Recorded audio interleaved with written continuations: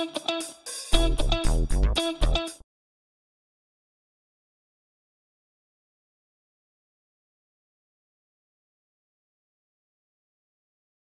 to let you know you got 10 minutes left. Okay, great. Uh, all right, let's uh, let's begin. As Jim said, I'm a senior data scientist at Astraea. If you've not heard of us, uh, that's that's okay. You will. Uh, we're um, platform as a service, software as a service company, and we're focused around um, creating uh, like platforms for uh, organizations, people to discover uh, consume and analyze uh, Earth observation imagery. So satellite and drone imagery, overhead imagery, um, all of those, all of those terms uh, to me mean pretty much the same thing.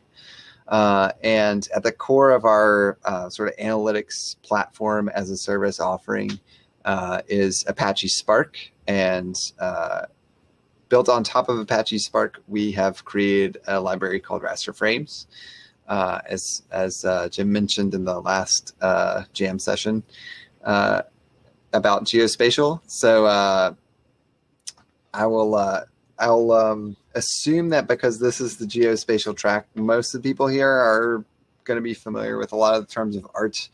kind of buzzwords that I'll use. If not, sh shout in the questions, and I'll try to try to clarify and connect the dots. Um, I also kind of assume that since I had you know data science in the title of my talk that uh, a lot of folks here are maybe uh, work as a data scientist or work as like a machine learning engineer or um, or a software developer on a team that has those kinds of people as their um, users or um, as part of the as part of the you know solution that they deliver.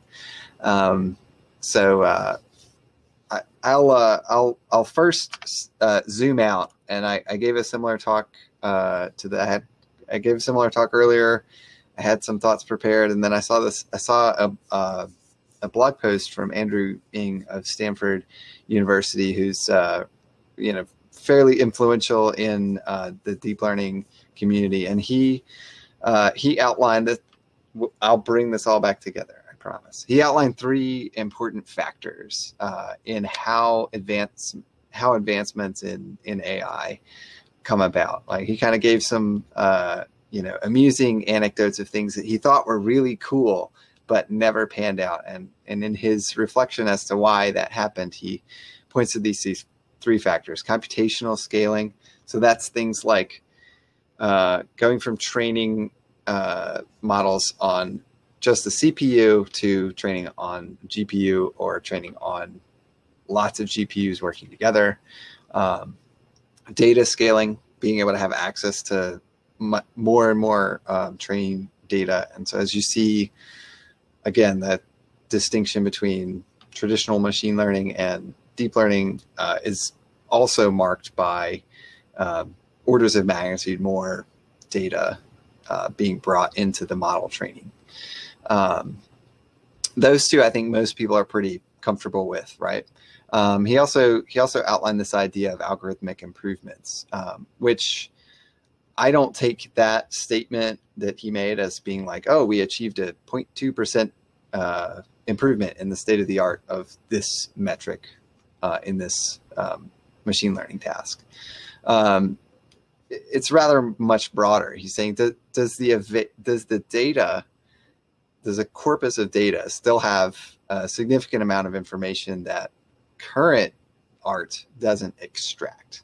And so it's not really asking like, are you getting two tenths of, of a percent better? It's like, what is uh, what's the information in the data?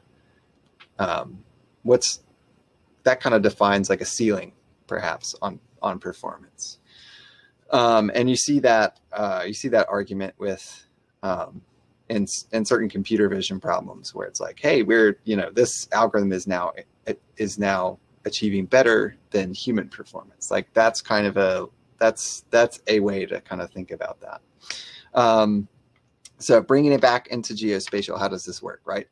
We know, uh, I, we haven't actually shown you any obligatory Earth observation pictures, but we, we know that uh, like the satellite uh, you know commercial mosaic in your like Google Maps or Bing Maps has a lot of information in it, right? Uh, and this is an example. This GIF is an example of uh, you know some someone who's stuck at home during quarantine is mapping this uh, this village in Canada on OpenStreetMap. So OpenStreetMap is really a powerful expression of uh, how um, you know how openly available uh, overhead imagery data contains a great deal of information, right? Um, but I kind of want to bring the aperture a little higher than just like cartographic things. That's important work, um, and there's a lot that's been done uh, towards that in things like SpaceNet, which is, hey, let's take these images and extract the roads, extract the buildings, extract certain relationships uh, between like physical features. Um, but there's uh, there's more, you know, kind of arguing that there's there's more uh, information that we aren't yet extracting, which is is promising. And now my now my computer is freezing up. Jem, can you give me a shout if you can hear me? I can hear you fine. Okay. Uh, yeah, you're still. Looks like you still got an OpenStreetMap uh, slide. Yep. Great. I got the I got the Apple Wheel of Doom as it's trying to go to the next page here. oh dear. Uh, oh dear. well, uh, worst I- case, uh, we can just talk about everything and uh, paint pictures. I, I got it. We're gonna we'll just jump right into the code demo. just kidding. Uh, okay, I, I'll try and get get things back on the road here, and if not, I think I have a PDF that I can that I can riff off of probably. Sorry, team. This is the the fun of doing this live. I'm really glad that we're doing this. All right, here we go. See, we didn't we that is a small a small side sidetrack. So looking at um, extracting imagery from this kind of like nice, uh, you know, com- like commercial mosaics of o- overhead imagery, right? That's that's kind of the bread and butter of how OpenStreetMap gets populated. But there's a lot more, and so I'm going to go A through Z until the end of uh, ApacheCon. Uh, start with the A's, right? So archaeology. Um, this uh, this is a screen grab from a TED talk by uh, Sarah Parcak, who's a an archaeology and anthropology professor, and she has this open, uh, she has this, pardon me, like crowdsourcing platform where people can go in and, and look at these uh, wonderful images that somehow she's gotten Maxar to give give her of areas that might contain uh, um, archaeological uh, sites of interest. So they found this set of structures uh, that was that was up until that point not yet discovered uh, in or known to known to archaeology, right? Um, so that's that's kind of that's kind of cool, and that's an example of like a human being applied to the task in a way that was that you were finally able to like extract that information. This whatever this site is has probably been imaged by Landsat mission like many many hundreds of times, but only in, only uh, until now has been sort of surfaced uh, as as something that was that's like take known for known for what it is, right? Um, another more uh, sort of traditional science example of like information in the data from atmospheric science. Uh, I credit here NASA and, and ESA. My understanding is is European Space Agency flies flies the mission, like Sentinel 5P mission, uh, and NASA uh, did did the data processing to um, to get us to get us this very interesting map of year over year change in uh, nitrogen dioxide pollution. So Sentinel 5P is not really a it's not it's not a traditional like camera in space. It's measuring concentrations of of pollutants in the atmosphere, and you can see this is in in Wuhan, China, and in 2020 after, uh, around the um, Lunar New Year, there was there was uh, you know this very stark decrease as opposed to an increase in uh, in pollution uh, around the around the time of, of the Lunar New Year. So, um, and that's like one example that probably was really, I respect this was probably really hard to generate the data and create this uh, create this product right here. Um, but it it goes to show, and that's you know that satellite is still flying. Uh, it goes to show that um, there's there's information to be extracted uh, from from that data uh, that's that's still being collected. So this is all like good news for AI, and there's there's more good news, right? The data scale is is large. Um, at Astraea, we have some I can't remember the exact, but we have some like very uh, we have some very large number of like terabytes of petabytes of uh, imagery data that um, we don't actually own all of it or whatever, but we um, have have made available through our um, through our uh, catalog service, which we'll talk about a little bit uh, later in the in the code demo. Um, and that kind of points to two things, right? Like I point, like I showed you that uh, Sentinel imagery. There's there's a there's really strong open data access policies for the for um, you know U.S. and European uh, satellite missions, and that's kind of catching on around the world. Um, there's also private um, like private satellite uh, operators that you know it's not open; you have to pay, but but there's there's uh, there's a lot of data available um, and and around a lot of that open data policies that says, hey, you know, this we we as a government or we as a, a, a group of states intends to make this data available for a really long time uh, for the benefit of you know everyone on the planet that we're imaging, right? Um, and there's also um, been a lot of work around open standards for uh, how you publish that data, how you access that data. Um, and uh, and that's all kind of on the back of this like really long standing uh, and systematic collection of the data um, which is which is really kind of exciting from a data scale thing. And we'll kind of borrow just in a word like the you know the cloud enables us to compute at the kind of scale that that we want to compute at right? Um, and and so our hypothesis we finally come to it is to advance like those algorithmic improvements to really like push the envelope in in AI um, you know, it's like we, we got to get this data right now that we kind of it's a, it's legally available, it's uh, accessible, um, it's in the cloud where the compute is. That's great. So now we just now all we need is to like get those AI practitioners like working on it, um, and that's where it comes to that's where it comes to tooling, right? Um, and kind of one of the main uh, thing that I'll focus on right uh, right now, and it's obviously more complex than this, is uh, is GDAL. It's kind of like um, de facto industry standard. A lot, a lot of um, a lot of penetration into um, like a lot of other projects and a lot of other efforts. Um, and it is an abstraction layer, right? So as a data scientist, I want to work in GDAL's like C library about as much as I want to work in TensorFlow's C library, which is not at all. Um, there are some like higher level programs. There's some library like libraries like Rasterio, which is really really good.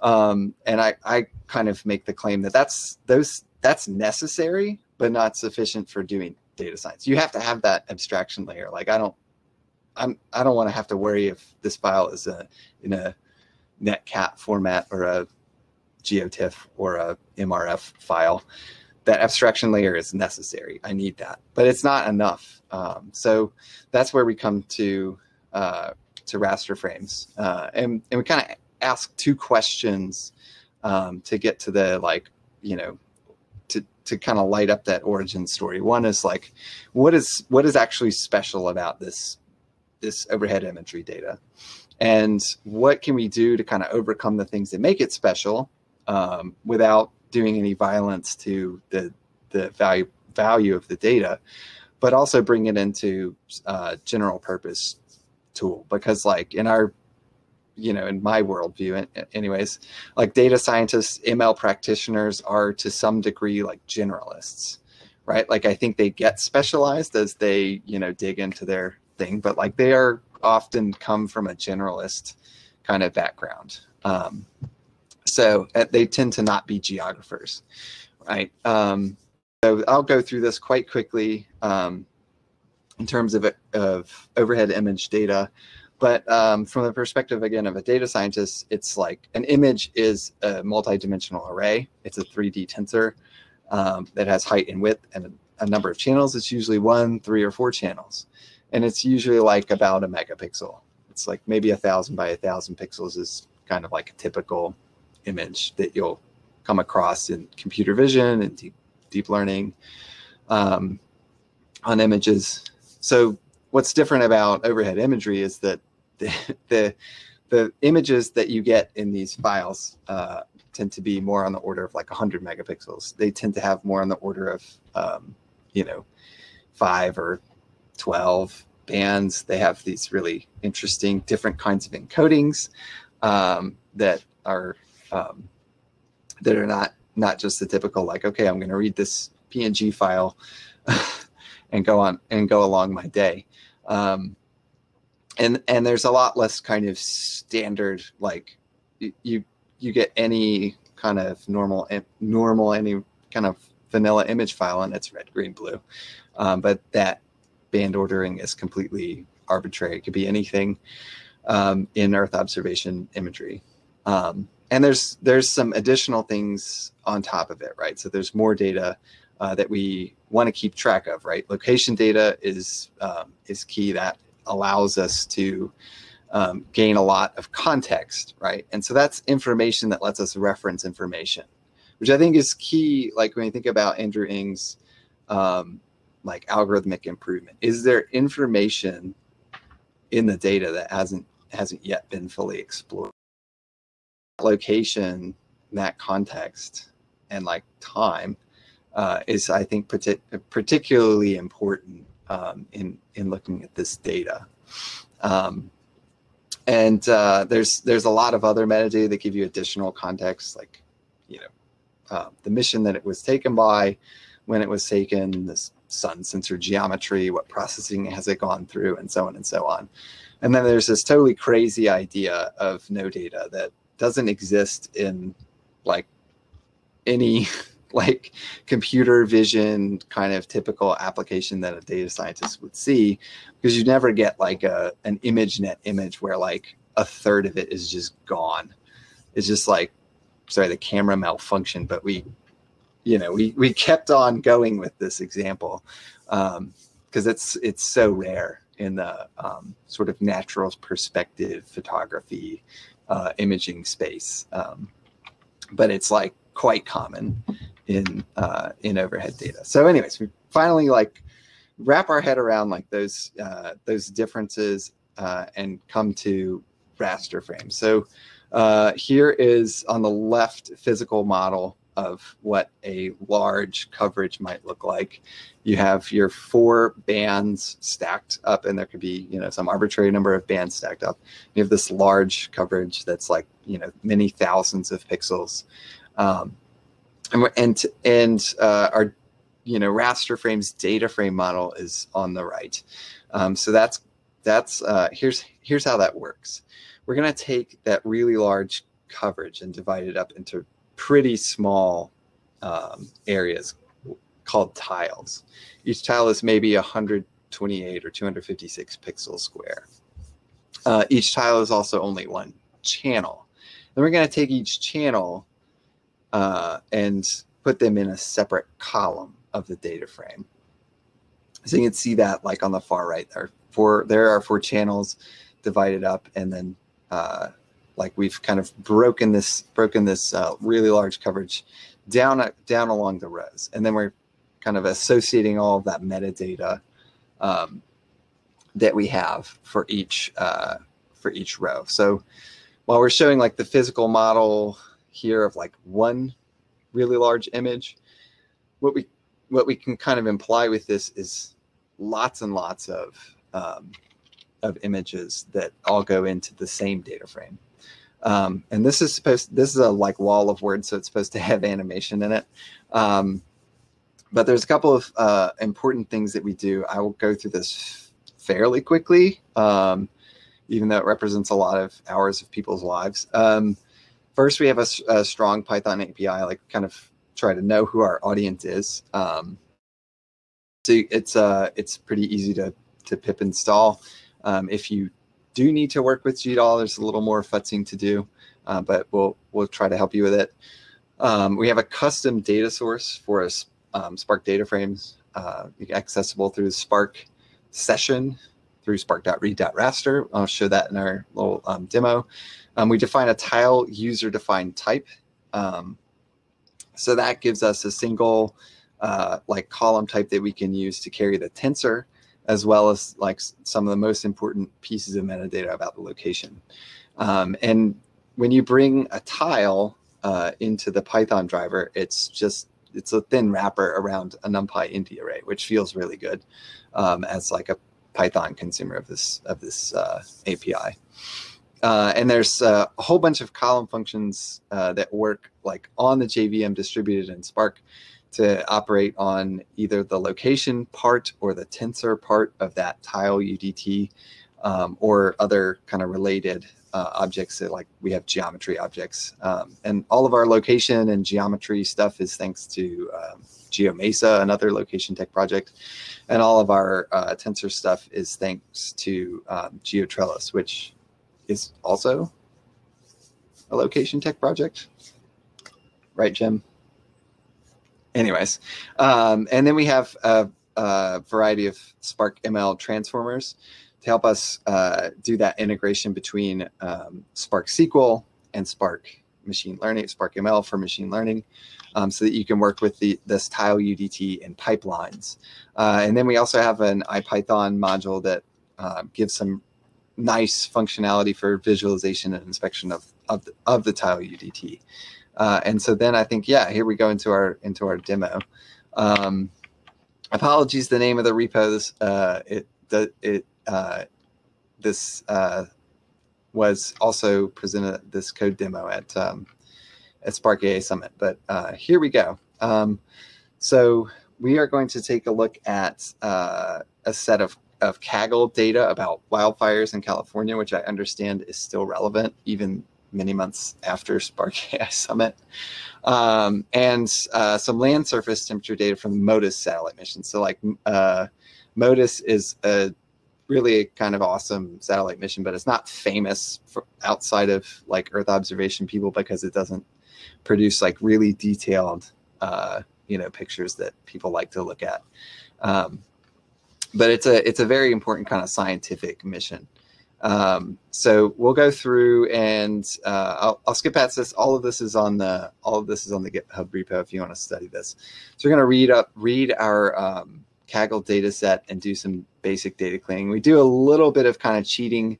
They give us a point location for the fire and an area like an acres burned in the fire. So we're going to kind of buffer that point and say, well, maybe about like this, like maybe around in this area is is where that fire happened. Um, uh, I'll leave it as an exercise for the reader to um, figure out like where, like how we can do an analytic to identify the area that actually got burned in the fire, which is totally possible uh, with satellite data. Um, and then so that you guys don't have to wait uh, forever, we're going to filter this down to one year of, of data. Uh, so then we get into um, some of the proprietary goodies. We're in uh, we're in Astraea's Earth AI notebook environment here. Um, I'm going to use a few of the, just play around with a few of the proprietary toys in here, um, not to bore you too much. Uh, but this builds, it's, it's kind of fun because this builds on top of uh, an open standard called STAC Spatiotemporal Asset Catalogs. It's a way to describe uh, the location of, or the, like describe access to um, satellite data, drone data, and this type of thing. So first I'm going to look in our catalog for different for a collect any collection that contains the word temp. What do I have about temp? Oh, here's my MODIS uh, mod 11A1 collection about land surface temperature and emissivity. Um, great, that's what I wanted. Um, and this is uh, this is the bands that are available. That um, basically you can see their um, TIFFs. Um, the different uh, bands of data that are there's a lot. Most of them are most of them, many of them are metadata. Uh, the one that we're going to work with is is the daytime land surface temperature, uh, and so this is like aggregate over a one kilometer by one kilometer pixel. Just not, you know, Jason, you've got about ten minutes left. Okay, great. We're going to make it, guys. Uh, so then I then I uh, go through and query that catalog once for each individual fire. I'm looking for any image from this MODIS uh, 11A1 that is in between the time the fire started and the fire was extinguished that intersects that kind of bubble that I defined um, around the fire. Uh, and then I'm going to finally join that all, all back up and make this uh, make this data frame. Here's kind of what we're looking at. We have this unique ID, which is from the Kaggle Fire data set. We have a date time that's referring to the date of the MODIS image. And then I have this link to the, it's not real, uh, this S3 bucket uh, and um, key that tells me where's this, where's this raster data item um, at. So for each fire, I have, uh, and you can see this unique ID is repeated. For each fire, I have potentially many different uh, um, images uh, um, of, of land surface temperature. So finally, I'm gonna I'm gonna merge all that stuff together, and then use my Spark data frame reader. I'm gonna pass in the data frame and a list of column names, and the list of column names tells me tells the reader, okay, these are the columns that contain a URI that references data that you are to read. Um, so here's my schema. I get my I get my path, my original path back, and and this struct which has the tile UDT in it along with the location. And you can see it's pretty simple. Uh, this uh, we have the proj string and um, a struct of, of four doubles telling me where in where in that CRS is is this tile. And then all of the rest of our there's two two main categories here. The rest of this data is from the Kaggle dataset, this kind of camel case stuff. So there's administrative info, there's resources used, and there's like damage caused, like fatalities, uh, structures damaged, um, and so on. And then the and then the kind of bottom half of this is all of is all of the metadata about the satellite image that is is paired with that. So the next thing that I'll do is some nice handy Ge GeoMesa uh, filtering. So I only want uh, I only want to keep rows where um, that my fire bubble like intersects with that geometry of, of the of the data. Um, and so because I didn't want to punish you guys waiting for this, uh, this should be pretty fast. We have it cached. Um, so I have 625 entries in my in my data frame. Uh, and then this is kind of our, this is from this point below, I think I somewhere in here I have a shortcut uh, where you can read a yeah from this shortcut below. Everything is all it's all open source uh, and there's there's no proprietary secret sauce in here. Um, so this is this is all IPython uh, module within PyRaster frames uh, that enables this kind of table display, which is um, I, I, think pretty useful. So you can see the name of the fire, a sample of an image, location about the image, the date of that image, you can kind of see its relationship to the um, to the time interval that the fire happened in. Um, the tile um, is so there's there it is as a Spark SQL row, um, and you can you can dig around in there and see okay it's it's uh, it's just a thin wrapper over a, a NumPy array um, with some nice uh, nice functionality to help us get a, a nice a nice repr in in IPython. Um, like I said, we had we have something over a hundred uh, different kind of column functions and aggregates defined in raster frames. Uh, this is this is one where we we go back to the documentation. It says, okay, to get from this digital number to Kelvin uh, that was measured, divide by 50. So we do that, uh, and then we're gonna then we're gonna aggregate. I'll I'll bring your attention to this uh, bit here, raster frame RF ag stats. So we're gonna get um, we're going to run a an aggregate statistic over all of the cells in the tiles and all of the rows in the column um, for the whole data frame grouped by uh, grouped by basically distinct fire, right? All of this is that Kaggle like per fire info. Um, so we're going to take that series of however many it was, five or 20 images uh, per fire and aggregate that all together and uh, we're gonna we're gonna pull out of that stats structure the max and some of the other things and then uh, and then take a peek. And that will be kind of the end of our demo but just kind of to show you um, this uh, the intuition here is we had this we had this Kaggle data set which has a lot of interesting things about the fire and then we have this other free data set that gives us physical measurements of what was happening to the surface of the earth while that fire was happening. We've now been and we're now able to bring that together. So like at the end of the day, we we didn't make a map of anything. but we did enrich this existing data set with um, with this with this Earth, observation data. So that's just kind of like hints at a direction that um, that this uh, that this work can go. Um, and there's uh, I, am the talk before me was hopefully going to talk a lot about like how you can apply deep learning to uh, this to Earth observation data and kind of give you a sense of like how a lot of that work is about extracting semantic meaning from these images, um, which which was going to be a, an awesome dovetail to this. But use your use your imagination, uh, and and if you look at things like SpaceNet, you can you can see how that's really um, how that's really true. And there's a lot of there's a lot more work to be done to extract even more information out of out of the the body of data that we have. So a quick recap of RasterFrames, and then I'll do questions with whatever time we have left. Uh, it's on it's under LocationTech. It's uh, Apache 2 licensed uh, with like a, a, strong commercial friendly IP governance model. Um, check out the website to get started. You can pip install RasterFrames if you'd like. You can try our try our notebook product. Uh, I think it's free for a week. I think I can probably give you a, a coupon code if you if you at me on something. Um, and get you some extra time. And then feel free to contribute. Uh, our Gitter channel is kind of the main place to come with like, hey, I'm new and I have a question. Um, we also have uh, issue tracking and pull requests on GitHub. And if you want to contribute, you can check out our uh, contributors guide. Uh, and that's it. I'll go ahead and take your questions. Thank you, Jason. Uh, so yeah, folks, wow. if folks have yeah, cool if folks have any questions, uh, feel free to add them in chat.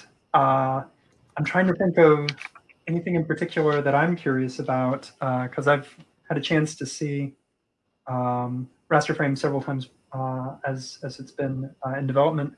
Uh, I definitely liked what you said earlier about the that an abstraction layer like GDAL is necessary, but it doesn't um, automatically just enable data science. You know, you need something else, and so.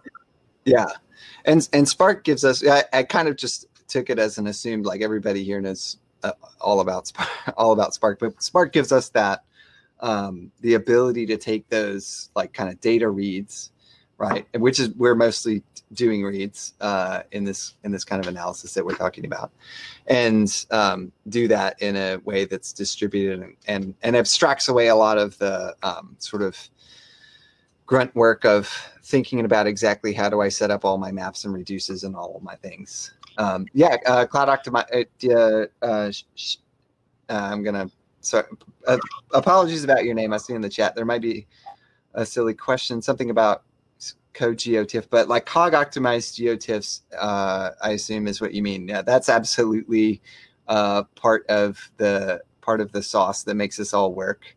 Um, we are heavily opinionated towards uh, cloud optimized geotiffs because it does all the things in the way that we want to do them in RasterFrames so to to read out like if you saw that um, physical model versus the data model we're going to go we're going to go Droste effect again here um, in this in this uh, like sort of physical model to data model like on the left that physical model really is how the data is is stored as well as like how you see it in the map. But um, so we need these like kind of arbitrary range reads of, of small ranges um, to make this work. So to be able to go to uh, a bucket in a cloud or an object in a cloud store and say, give me this range, like give me the header and then, okay, now I know what I need. Give me this range of, of bytes out of it. And that's my row data.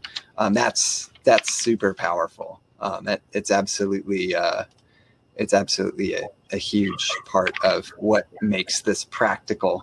Um, chunking net, uh, HDF, NetCDF, and Zarr. Yeah, I that so those I'm familiar with uh, HDF, NetCDF, and the, the kind of family of things, um, but I'm I'm not as familiar with uh, like how that would really play in um, yeah, and like that sort of parallel distributed uh, compute to like manage the tasks and all of that stuff. I, I, I really don't know. I can't really speak to that. Um, but yeah, be that's a that's a cool question. And we have we have uh, theoretically through GDAL, we have the ability to read HDF and NetCDF files, um, but I'm not aware of it being done, and there may be there may need to be a little more work to um, get everything like tied together just right. Yeah, it, and I think that's um, maybe maybe as a closing thing. It's this is where we're starting to see where it's good to have the abstraction layer. Things like uh, cloud optimized geotiffs help us make sure that even though we're reaching through an abstraction layer, we're doing that in a way that optimizes our reads. And so, to George's point, yeah. uh, being able to do that across multiple uh, different file formats would be really interesting. And the next presentation in our track is going to be starting uh, here in about three or four minutes, so we should jump over to that. Uh, there is going to be a birds of a feather that'll start after uh, that talk at, I believe, 4.15 uh, Eastern. So if you've got more time this afternoon, uh, uh, either for you, Jason, or for anyone else, uh, you can come hang out with us there. And uh, you can ask George more questions about HDF and NetCDF. Ah, thank you. Thank you, Jim. And I posted our um, our project's Gitter link in the in the chat. It's easy. It's easy to find. Um, and you can, if you have a question, you can get on there and, and ask. Um, and yeah, we're happy to happy to help you out get get on your journey doing all this.